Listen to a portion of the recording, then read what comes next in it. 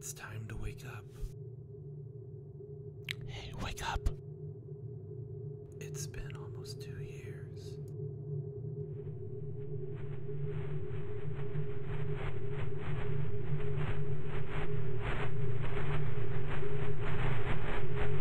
Twenty twenty three is about to begin.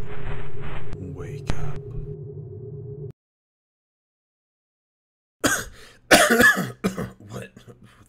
fuck was that? Well, now that I'm awake, I, uh, guess I can say Happy New Year's to y'all. Uh, sorry I haven't done anything in the past two years. Ah, uh, that was a weird dream.